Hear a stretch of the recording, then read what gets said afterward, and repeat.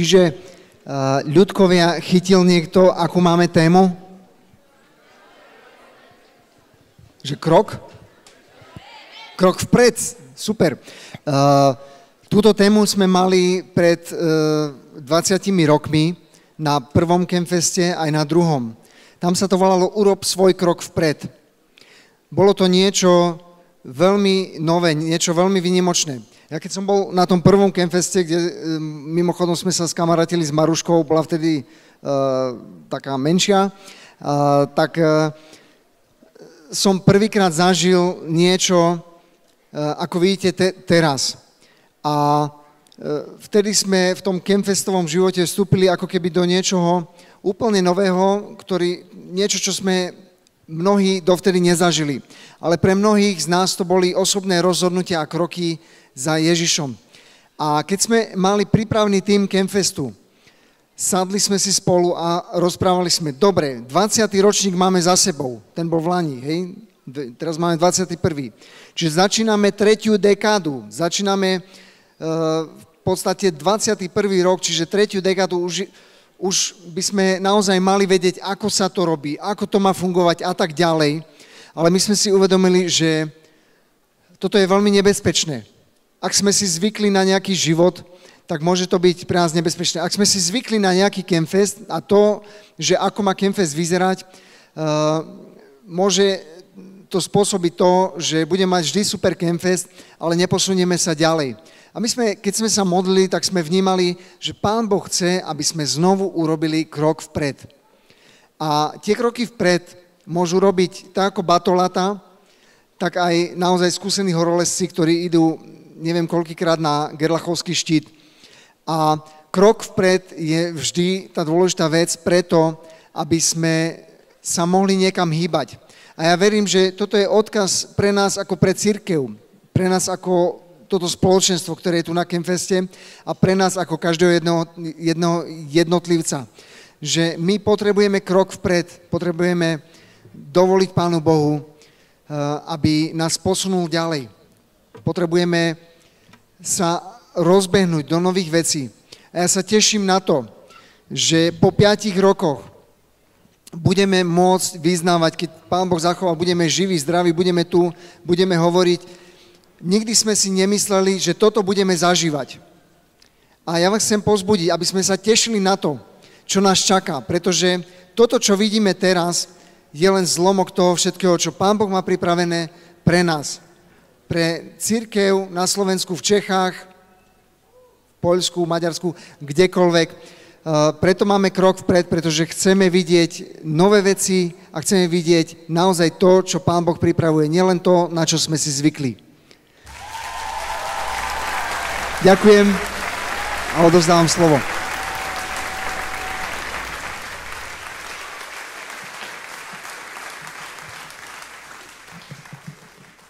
Tak pekný večer prajem všetkým. Môžeme sa na chvíľočku postaviť? Chceme jednu vec u vás, od vás urobiť na úvod, také prorocké gesto. Možno ste na, na sebe priniesli mnoho trápenia, súženia, mnoho ťarchy alebo čokoľvek vás ešte teraz cestou stretlo alebo čokoľvek nesiete. Skúste spraviť takú vec, že to proste strasieme dole. Pavol, keď na neho skočil had a uštipol ho, tak ho striasol a nič sa mu nestalo. A pre všetkých to bolo znamenie, že je Boží človek. Tak aj dneska my poďme striasť všetky tie veci. Poďme to urobiť úplne fyzicky na tri. Poďme striasť veci zo seba, poďme striasť veci zo svojich pliec, dobre? Začneme troška tak sa chvieť, dobre? A dajme všetko dole prorocky, nech čokoľvek na nás teraz je, čo nás tlačiť k zemi. Nech odíde v mene Ježiš pred týmto časom. OK? Idete o toho s nami? Jeden, dva, tri. Stráste zo seba všetky tie veci, dobre? Bude to možno vyzerať trocha crazy, ale skúsime to urobiť. Hej?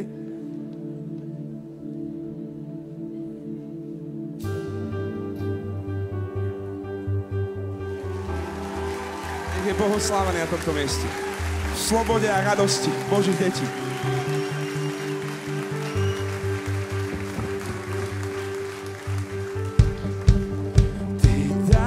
Dávaš mi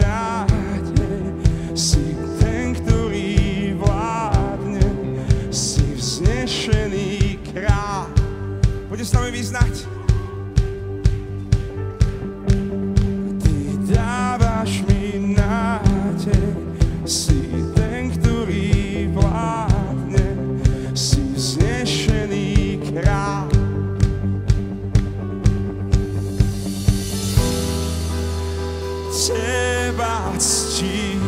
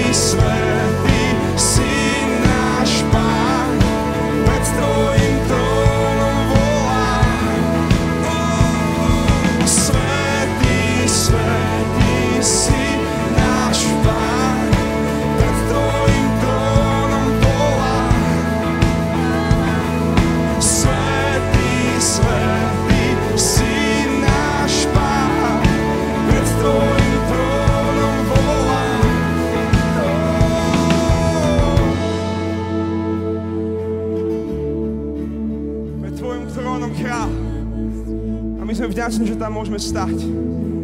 Skrze Tvoju krv. My sme vďační, že tu môžeme stať ako ľudia, o ktorých si povedal, že si Boh s nami. Tvoj ľud.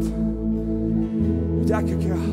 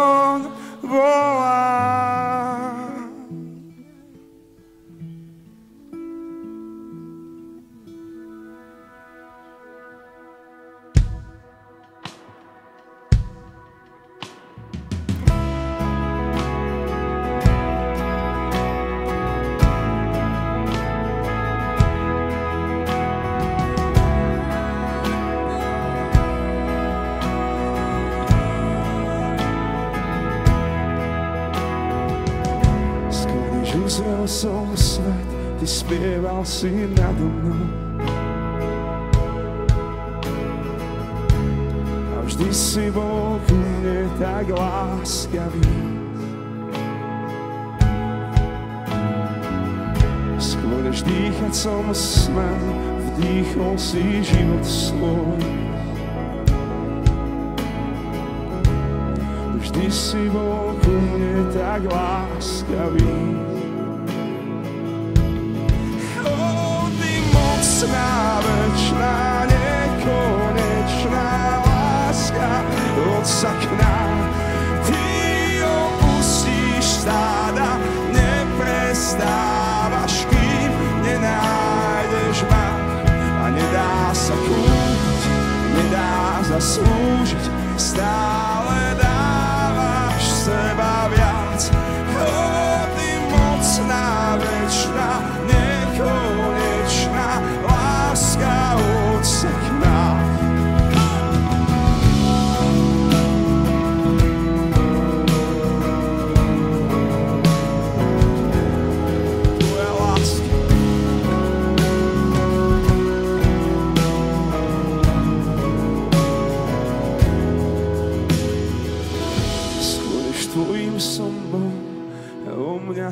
si zápasil. Vždy si bol ku mne tak láskavý. Aj keď slabý som bol, za mňa si zaplatil. Vždy si bol ku mne tak láskavý. Poď volaj.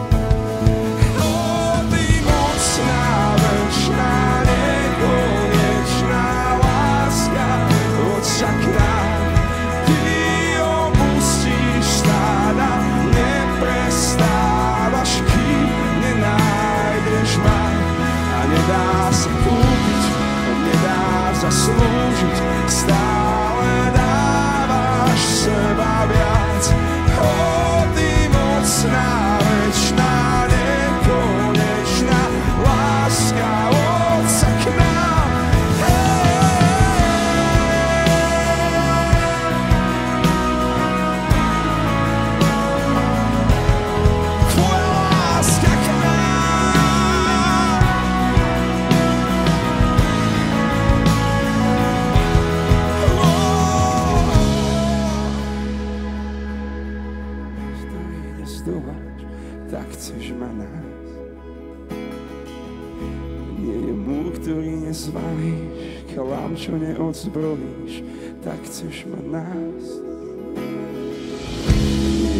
čo neprežiariš, vrch, ktorý nestúvaš, tak chceš ma nájsť. Nie je múr, ktorý nezvalíš, klam, čo neodzbrojíš, tak chceš ma nájsť. Tak poď volaj. Nie je tma, čo neprežiariš, vrch, ktorý nestoláš, tak chceš ma nájsť.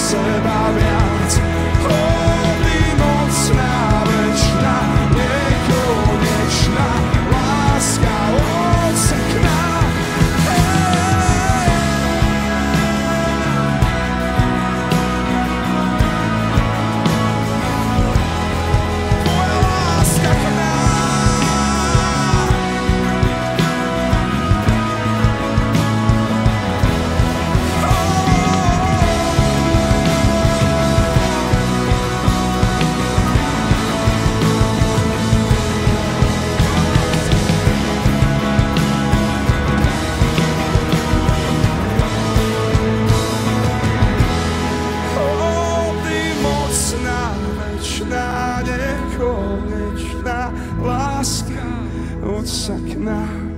Ty opustíš stáda, neprestávaš, kým nenájdeš ma. Nedá sa kúpiť, nedá sa slúžiť, stále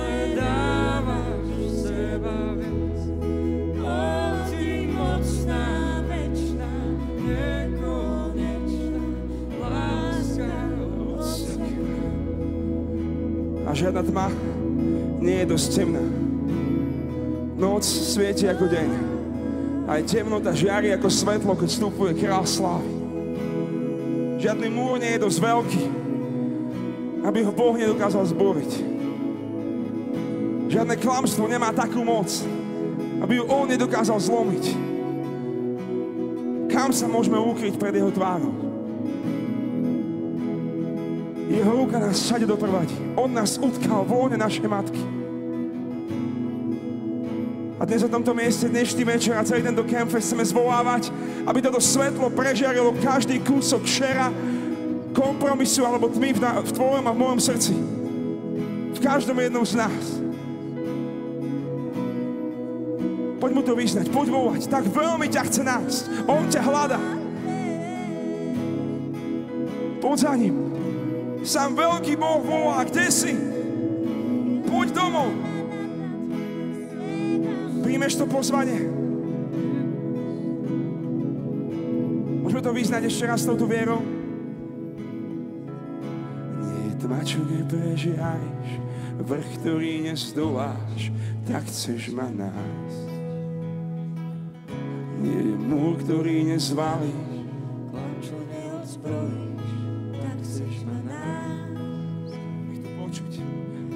Tma, čo neprežiariš, vrch, ktorý nezdoláš, tak chceš ma nájsť. Tu sme, Pane. Nie je múr, ktorý nezvalíš, klam, čo neodzbrojíš, tak chceš ma nájsť. Nie je tma, čo neprežiariš, a vrch, ktorý nezdoláš, tak chceš ma nájsť. Nie je múr, ktorý nezvalíš, klam, čo neodzbrojíš, tak chceš ma nájsť. Nie tma, čo neprežiariš, vrch, ktorý nezdoláš, tak chceš ma nájsť. Nie je múr, ktorý nezvalíš, klam, čo neodzbrojíš, tak chceš ma nájsť.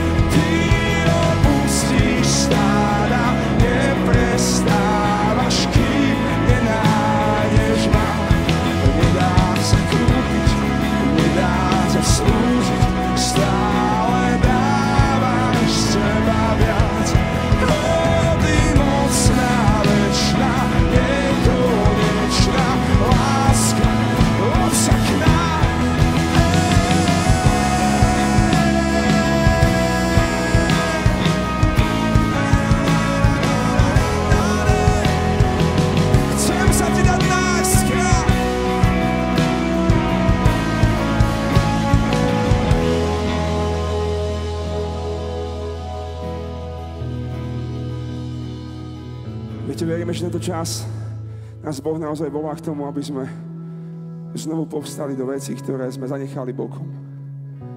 Niektorí z vás ste sem prišli s tým, že ste s niečím skončili a dneska ráno, dneska cestou, alebo na tomto mieste vám Boh povedal, že začni znova. Niektorí z vás ste sem prišli, lebo sa chcete vrátiť naspäť ku chvále.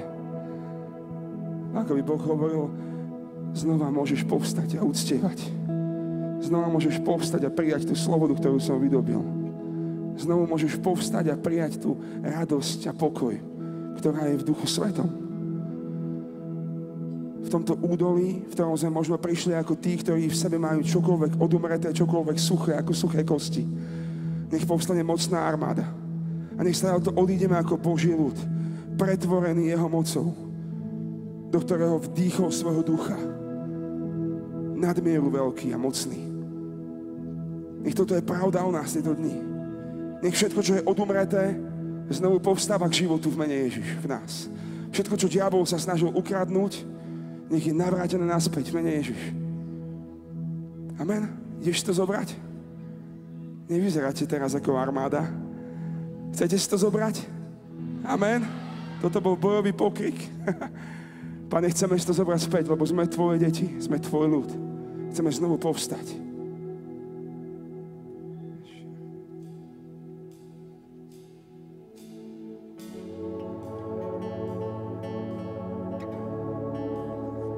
Daj nám nové srdce.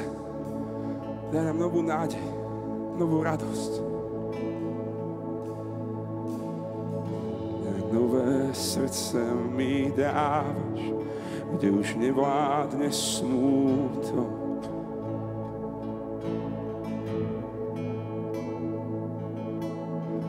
A tvoja láska smrdáva, zlomila mocnosť búrov poďme jedným hlasom, dobre? Náš hlas mocne znie, víťazné zvolanie, že vlajka nádeje sa vstýčila.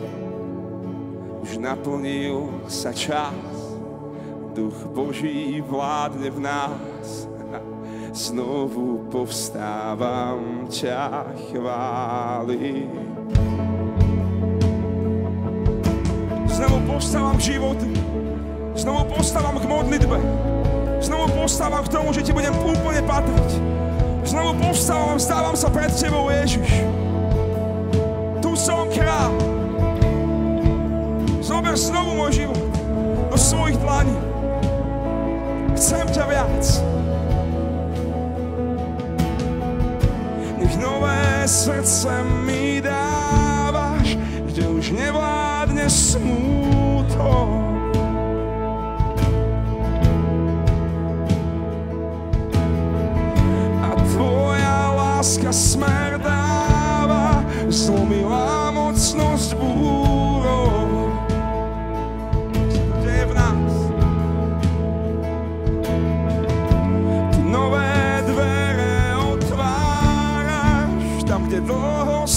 Som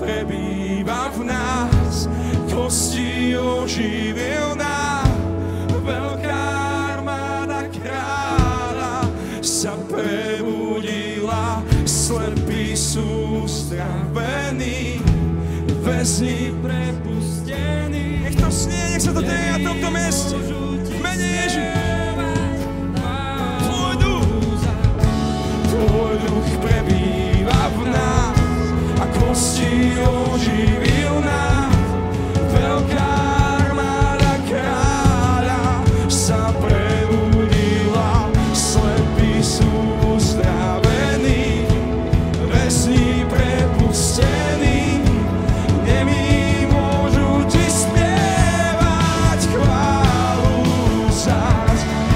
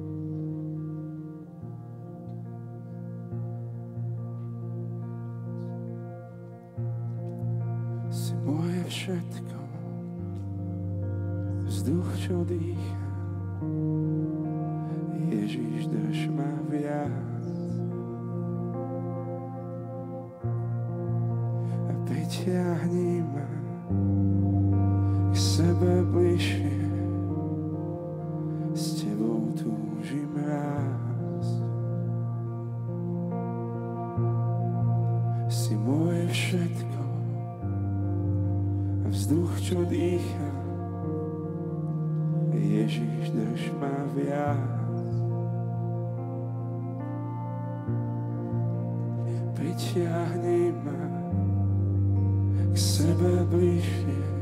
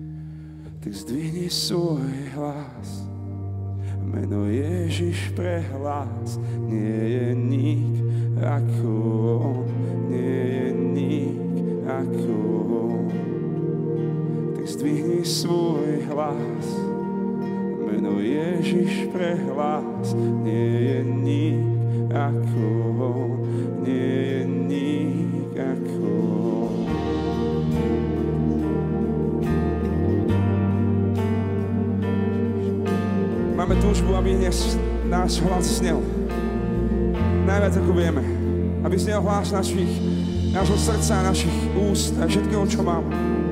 Jeho menom. Celý tento čas, celý tento Campfest. Tak to poďme spolu teraz otvoriť tie všetky brány, ktoré chceme, aby boli otvorené z neba na zem. Dobre? Nech snieme do Ježiša na tomto mieste. Podstrihni svoj hlas. Podstrihni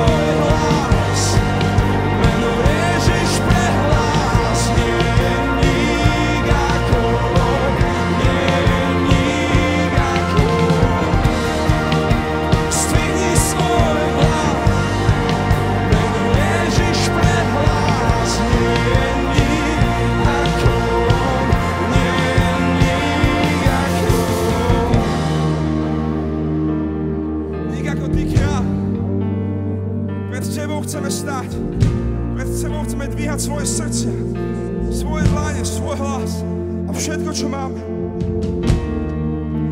Niech to zjedli w to miejsce.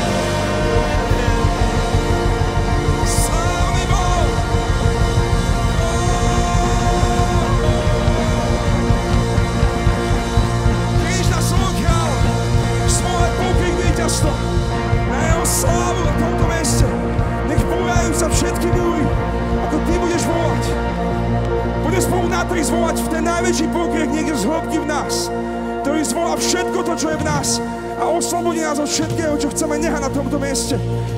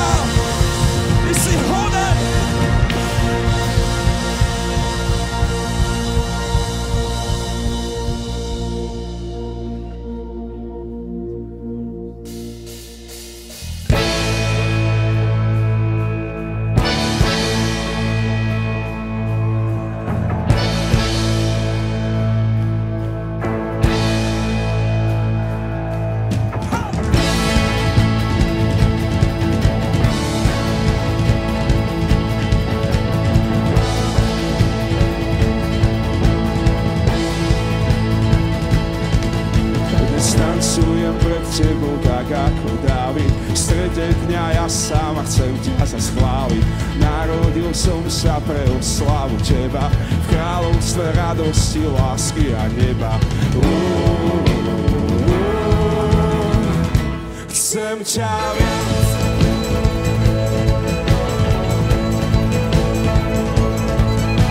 Slobodu pri tebe stále rád nádej, prelomíš každému, to dávaš nádej.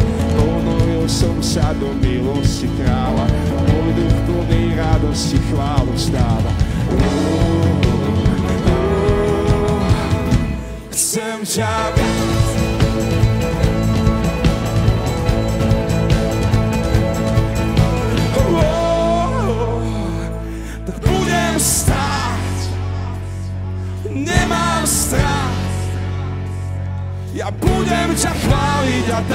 so I suddenly came first. Budem stáť, už hamba padá a v radosti Pána je moja sila.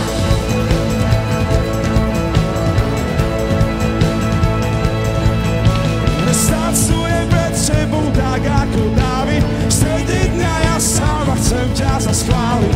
Národ som sa pre oslavu teba v kráľovstve radosti, lásky a neba.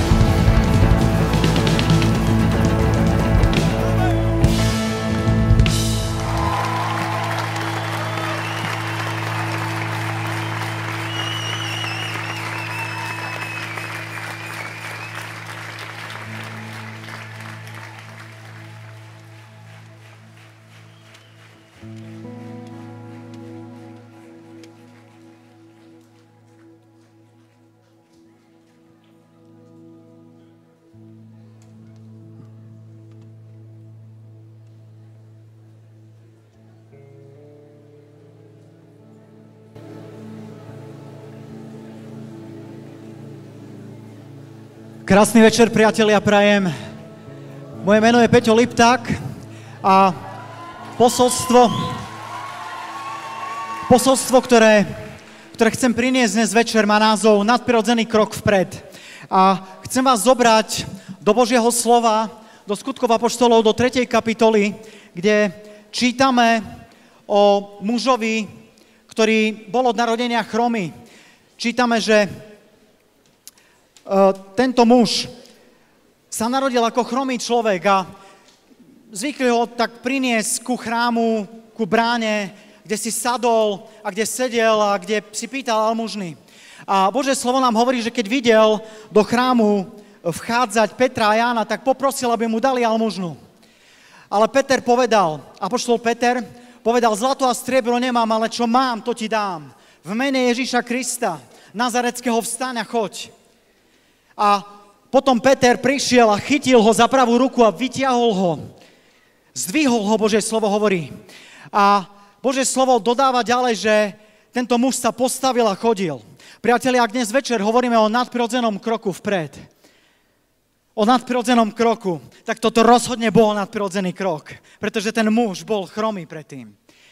A to, čo sa tam dialo potom, Eh, Bože slovo nám hovorí, že všetok ľud, keď videl, že tento muž chodí a chváli Boha, eh, zišiel sa tam, zbehol sa tam zástup ľudí a, a Peter prehovoril k tomuto ľudu, k tomuto zástupu a v podstate komentoval tento zázrak tak, že Boh našich otcov oslávil svojho služobníka Ježiša a ohlasuje tam Ježiša Krista, ktorý bol ukrižovaný slovami zabili ste povodcu života, ale Boh ho vzkriesil a my sme toho svetkami, hovorí. A hovorí pre jeho meno vieru, pre vieru v toto meno, meno Ježíša Krista. Tento muž tu stojí zdravý, viera v toto meno upevnilo tohto človeka, ktorého vidíte a poznáte. A potom týchto, týchto ľudí tento zástup vyzýva k pokániu, vyzýva ich k tomu, aby sa úplne obrátili k Ježišovi. A priatelia, tieto veci, ktoré čítame, nie sú nejaké legendy alebo niečo podobné, ale sú to veci, ktoré sa skutočne stali. Uh, v marci robíme také evangelizačné kurzy pre mladých ľudí, aj pre starších, ktokoľvek tam príde. A v marci prišla dievčina, ktorá vďaka Bohu nebola od narodenia chroma, ale bola po úraze, prišla s dvoma barlami na tento kurz.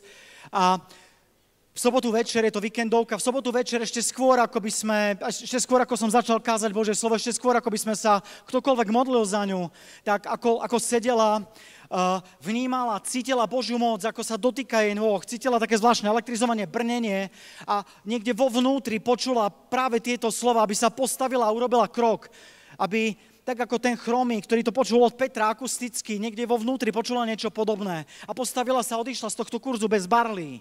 A možno ste počuli jej svedectvo na, vďaka Bohu, naozaj Boh oslávil svojho služobníka Ježiša.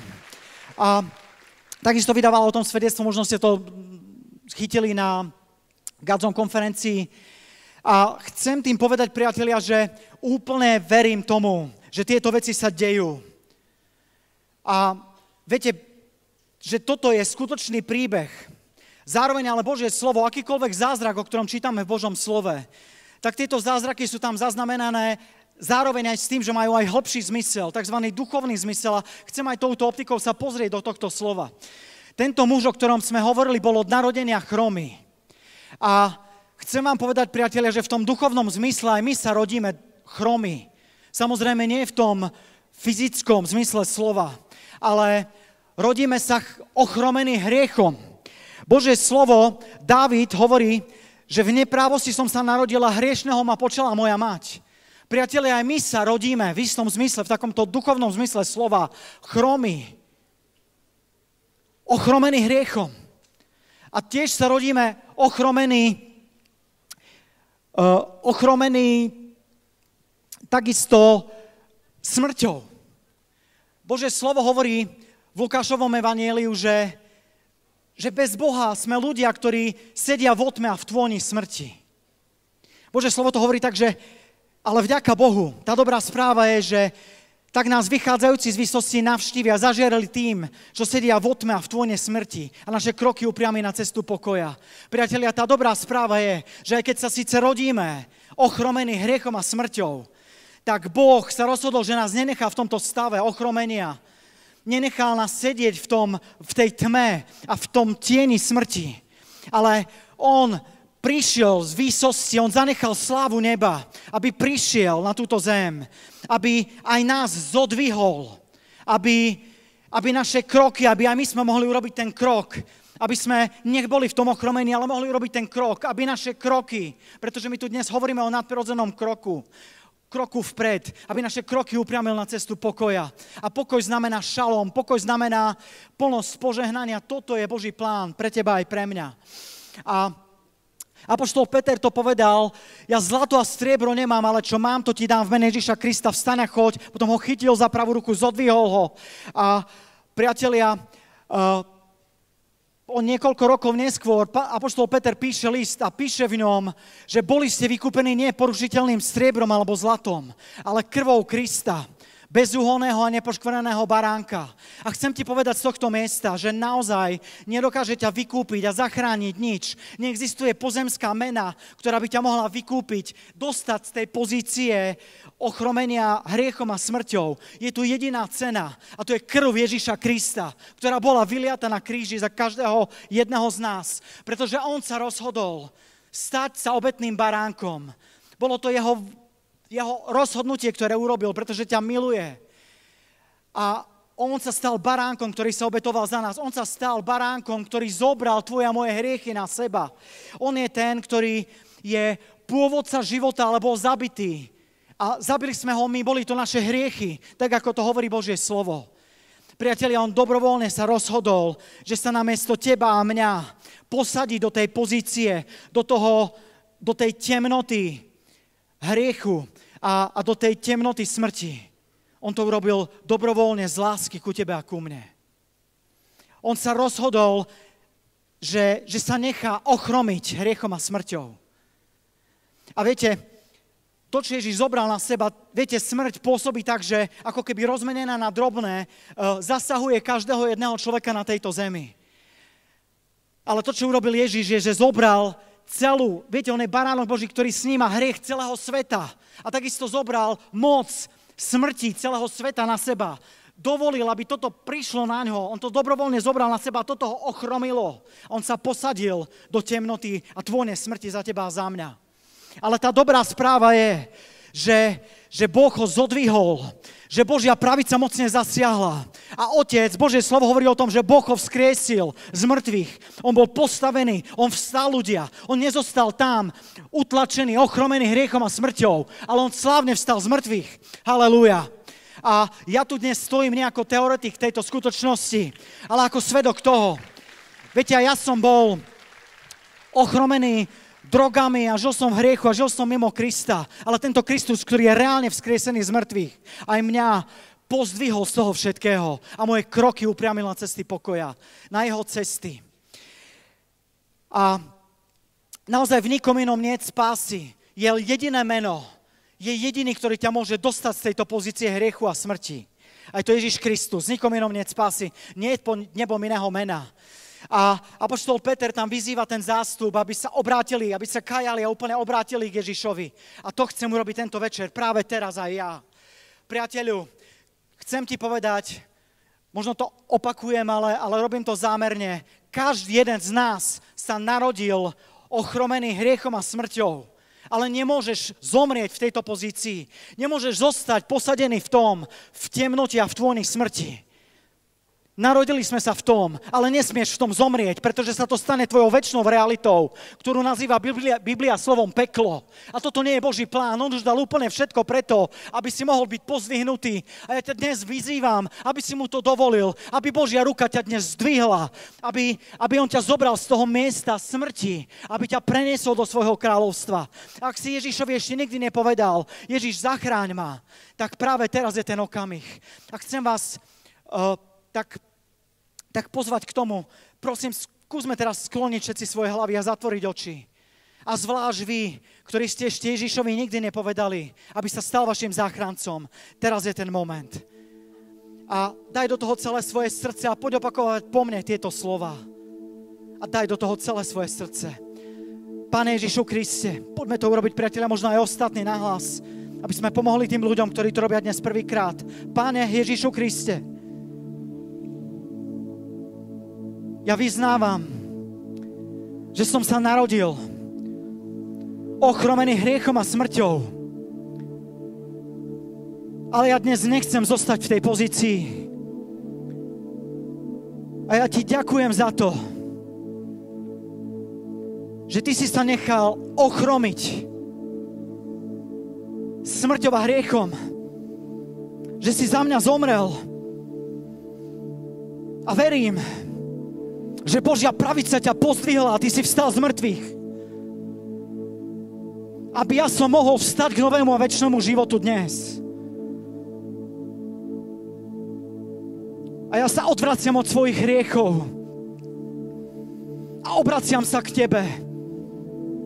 A vyznávam, že chcem kráčať za Tebou.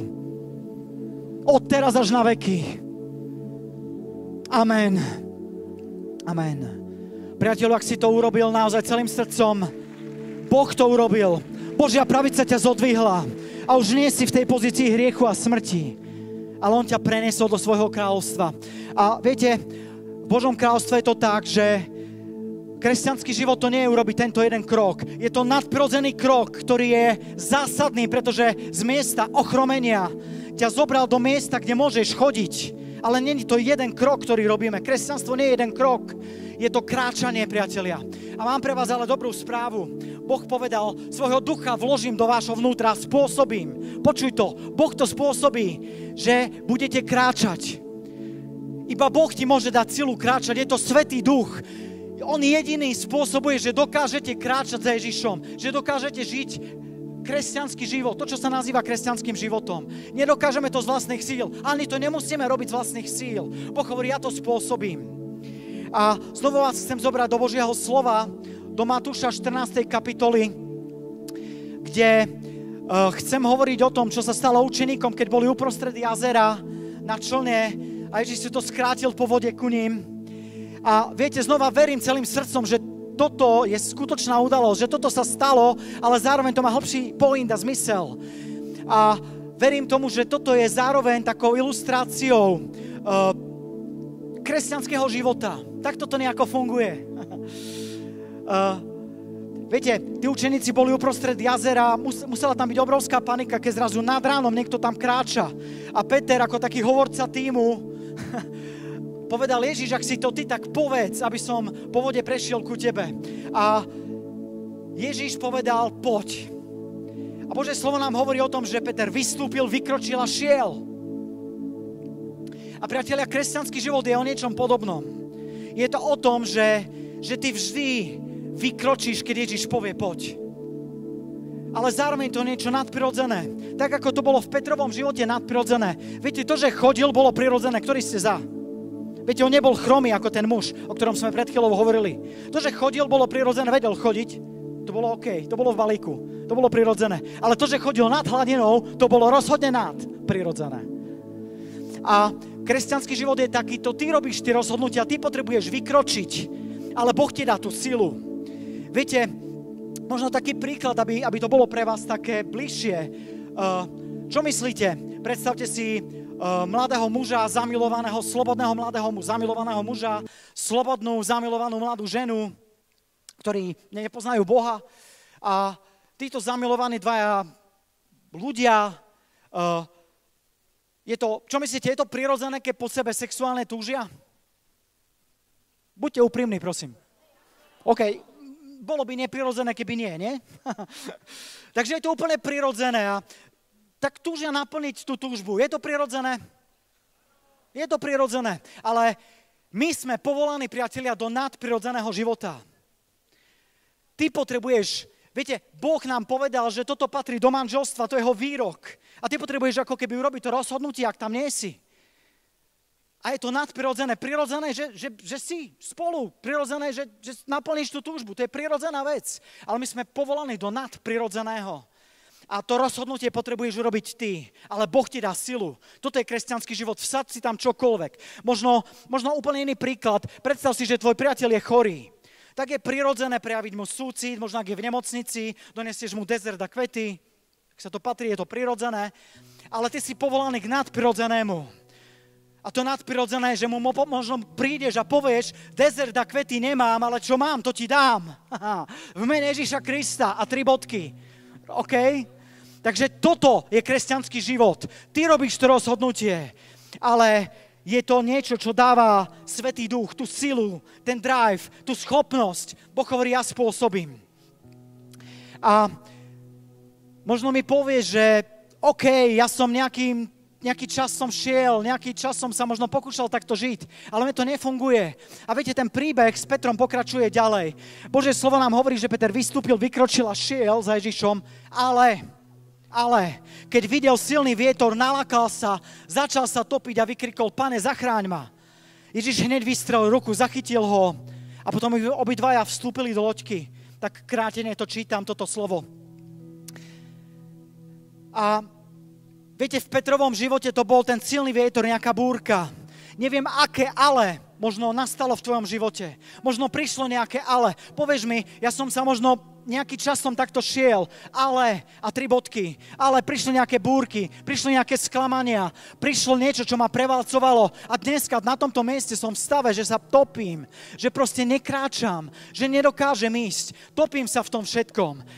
Priateľu, chcem ťa dnes večer vyzvať. Akékoľvek ale prišlo do tvojho života, nech dnes večer je v tvojom živote to A vykríkol dnes, prosím, tam, kde si, možno práve teraz, celým svojim srdcom zavolaj k Ježišovi. Pane, zachráň ma. Pane, vyťahni ma. Chcem ísť ďalej s Tebou. Ja som už ochutnal tú Tvoju cestu a viem, že nič iné, iné nemá zmysel. A Ježiš tak, ako to urobil pre Petra, Božie slovo hovorí o tom, že Ježiš hneď, hneď vystrel ruku a zachytil ho a potom vystúpili spolu do loďky. Viete, niekedy nám ujde to, ale oni tam šli spolu do tej loďky. To nebolo o tom, že Ježiš Petra potom ťahal už, viete, ten zbytok cesty po tej vode ako vodného lyžiara. Ale všimnite si tamto slovo, je napísané, že vstúpili do loďky. Šli bok po boku. Ježiš a Peter, on chodil znova po tých vodách úplne ho obnovil. A chcem ti povedať, že tá služba Ducha Svetého, žalmista sa modlí, že keď zošle svojho ducha, tak veci sú stvorené. On nás robí novým stvorením, veci sú stvorené. Ale mám pre teba dobrú správu. Ak ti to nevyšlo, ak si padol, ak sa dnes stopíš, on nie iba tvorí, on aj obnovuje. A žalmista tu hovorí, keď zošleš svojho ducha. A priatelia, vďaka Bohu, my žijeme v ďaleko lepších časoch, v novej zmluve v časoch milosti, v časoch, keď už neplatí to keď zošleš. To sa stalo. Priatelia, to sa naplnilo. Modlitba príď v Duchu Svetý bola zodpovedaná raz a navždy pred 2000 rokmi. Duch Boží je tu, priatelia. On prišiel a je s nami 2000 rokov. Ježiša Boh skriesil. Halelúja. Ježiša Boh skriesil. Božia pravica ho povýšila, pozvihala ho nado všetko. A keď Otca dostal prislúbeného Ducha Svetého, tak ho vylial, ako sami vidíte a počujete, alebo budete vidieť a počuť. Priatelia, toto sa stalo. Toto sa stalo a Božia túžba, Božie srdce je svojho ducha vložiť do tvojho vnútra a spôsobiť to, že dokážeš kráčať, že pôjdeš už nie v svojej sile. Ak si sa pokúšal kráčať sám, tak sa ti nedivím, že to nevyšlo ale je tu Božia moc pre teba. Svojho ducha vložím, Boh to hovorí, ja to spravím do tvojho vnútra spôsobím, že dokážeš kráčať. Priatelia, toto je pred nami. A ja chcem pozvať eh, priateľov z SP. Chceme sa modliť za to spoločné na tomto mieste.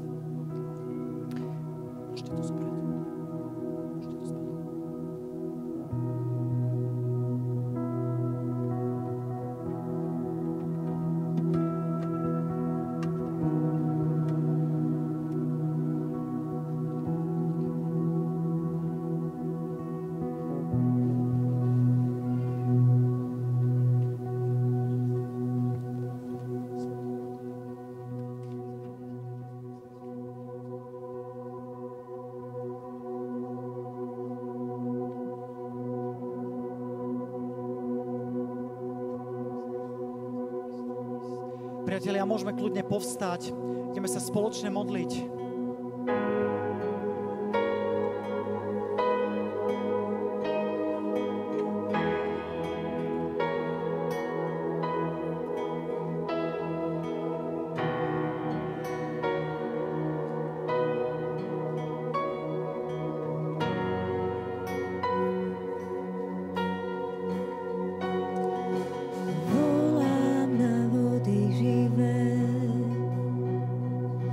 Čo z hlbí sa prelejú na prúdy riek, čo zaplavia nás celý.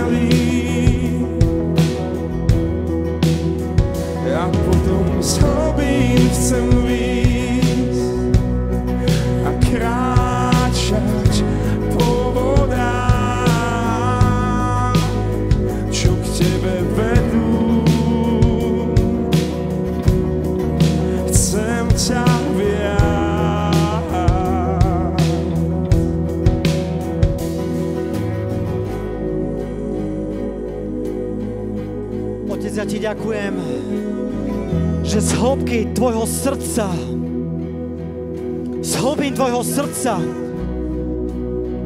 bol vyliatý Svetý Duch na túto zem, na toto miesto, že je tu a teraz.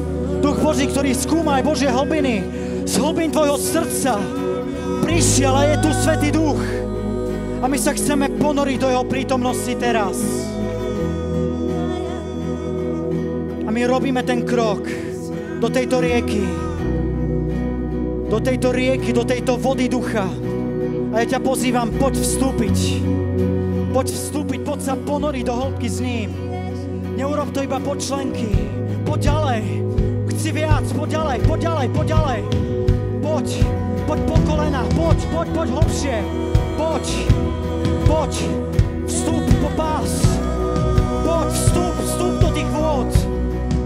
to je symbol Svetého Ducha.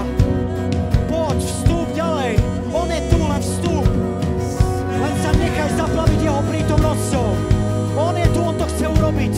Len mu to dovol, len mu to dovol. Len nechaj, nech ťa zaplaví. Tak, tak, viac ako popas, viac ako popas, viac ako popas. Vezmi si viac, vezmi si viac, vezmi si viac, ponor sa hlbšie. Poď, poď, poď, poď, poď, poď do toho. Poď, nechaj, nech ťa strhne, nech ťa strhne táto voda. Pretože len vtedy dokážeš kráčať po, po vodách, len vtedy dokážeš ísť a žiť to skutočné, čo Boh pre teba pripravil.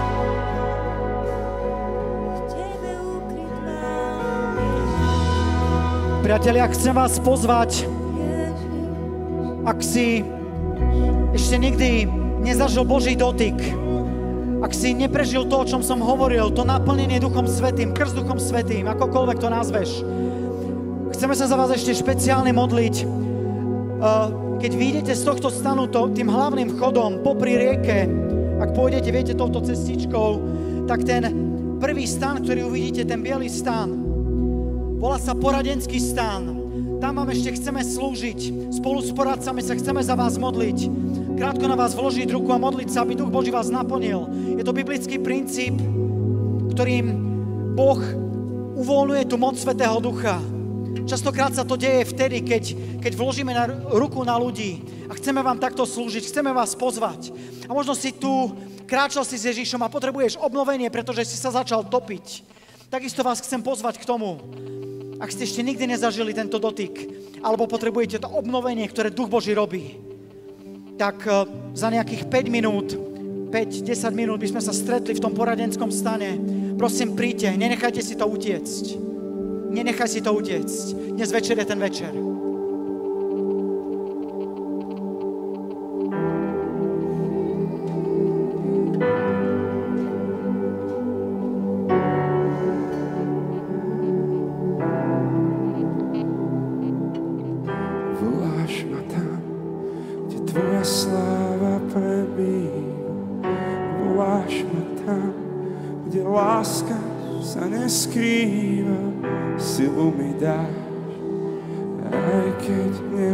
Nevládzem, len s tebou chcem ísť.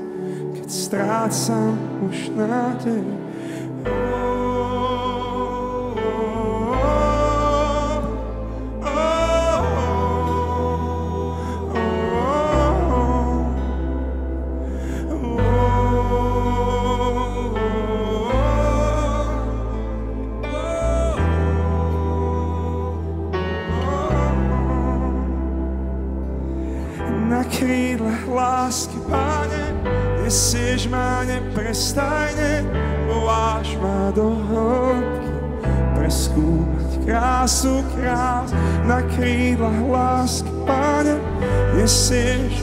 ma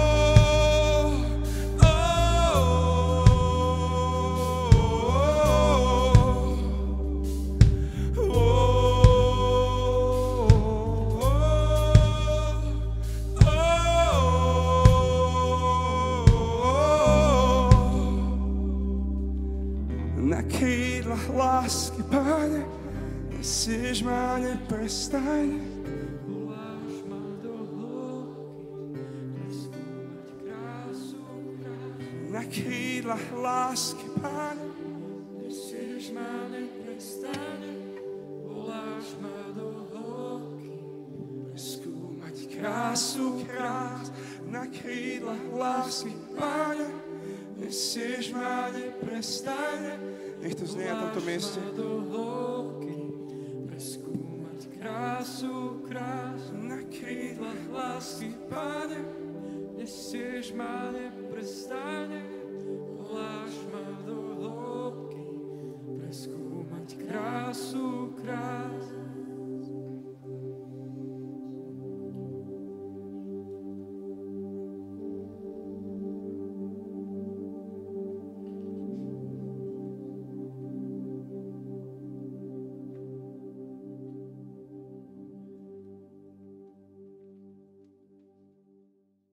You call me out amidst the dark. You knew my name before the start. Well, I walked today Your resurrection rescued me. You Give me grace. In my faith